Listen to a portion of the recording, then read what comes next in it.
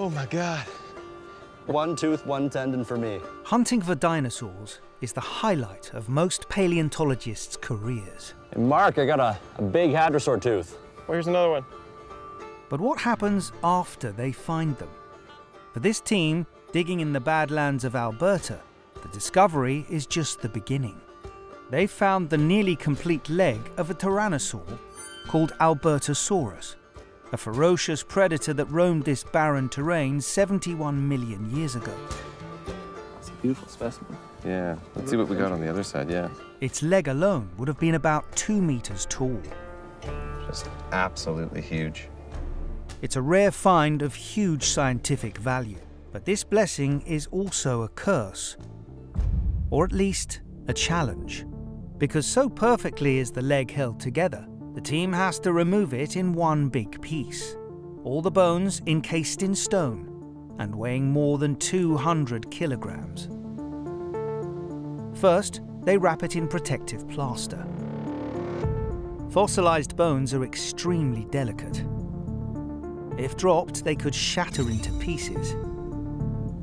If they can get this to the lab in one piece, the real scientific work can begin. Lab is a long way from the mountaintop. And the only way to get down is a treacherous, rocky climb. Or is it?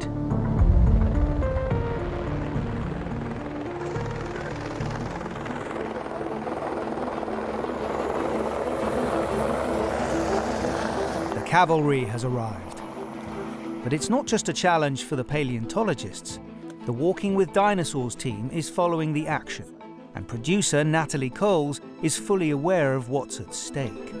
Yeah, for the, for, I mean, the jacket up there is about 200 to 300 kilograms, so it's pretty big, but it's still quite fragile. So yeah, I'm nervous. I just want to want it down here in one piece. It's the only way to get this much weight down the steep, crumbling wall of the cliff. But this will be a one-time only deal.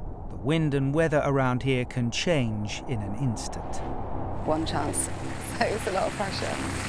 As for the helicopter, sure it can handle the weight, but can it navigate this tricky terrain while swinging a fragile dinosaur leg with the delicacy required?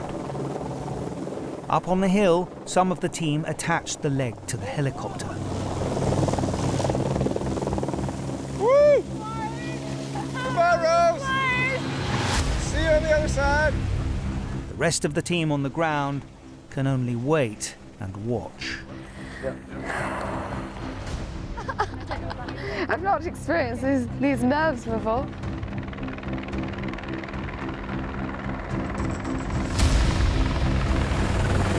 As the helicopter swings back towards the camp, it's time to spring into action.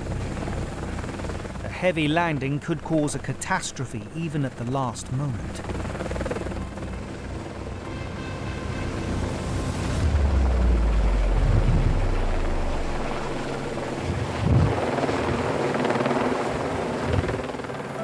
Success.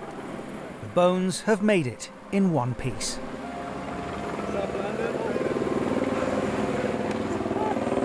That last bit there was scary, but this is. Oh my god. That was good. These guys know what they're doing. There we go. Get in there. Get in there, come on, come on. Come on, come on.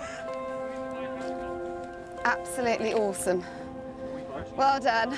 70 million years ago, or whatever, that dinosaur's hopping around. Yeah. Its bones end up flying in a helicopter. I know, it's mad, isn't it? For the paleontologists, this is a major find and a big relief. Yeah. Oh, Good work, team. It hit the Yes. wall. All in all, not a bad day at the office, considering it's not even 9 a.m. Boom. That's awesome. Now we just gotta put it in the truck.